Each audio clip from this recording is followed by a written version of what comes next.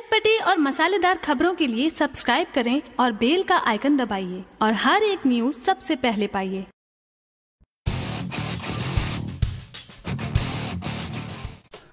बॉलीवुड के सलमान खान को ऐसे नहीं दबंग कहा जाता है। जी हाँ आपको बता दें कि बॉलीवुड में दबंग सलमान खान का जलवा दिन ब दिन बॉक्स ऑफ़िस पर बढ़ता ही चला जा रहा है। इसी कड़ी में काफ़ी लंबे समय से दर्शक इंतज़ार कर रहे थे सलमान खान की आने वाली फ़िल्म रेस थ्री के बारे में। जी हाँ आपको बता दें कि रेस थ्री का फाइनली आज टेलर लॉन्च कर दिया गया। जी हाँ आपको बता दें कि रेस थ्री का टेलर भव्य तरीके से धूमधाम से मुंबई में संपन्न किया गया। आपको बता दें कि रेस थ्री का टेलर टिप्स ऑफिशियली के यूट्यूब चैनल पर जारी कर दिया गया है, जिसे दर्शक बेहद ज़्यादा पसंद कर रहे हैं। साथ ही साथ आपको बता दें कि टेलर लॉन्च होते ही इसे भारी मात्रा में सोशल मीडिया पर शेयर करते हुए देखा जा रहा है। आपको बता दें कि टेलर में सलमान खान का ज़बरदस्त एक्शन लुक दर्शकों को काफ़ी ज़्यादा पसंद आ रही है। साथ ही साथ अगर हम बात करें, काफ़ी लंबे समय के बाद बॉबी देवल की एंट्री इस फ़िल्म में काफ़ी ज़्यादा धाशु दिखाया गया है। साथ ही साथ अनिल कपूर, डेजी शाह, जैकलिन फंडानिस का भी अदाकारी टेलर में साफ़ साफ़ खूबसूरत तरीके से दिखाया गया है। यानी कि इस ईद के मौके पर सलमान खान की रेस थ्री बॉक्स ऑफ़िस पर हंगामा मचाने वाला है। आपको बता दें कि ईद के मौके पर रेस थ्री पूरे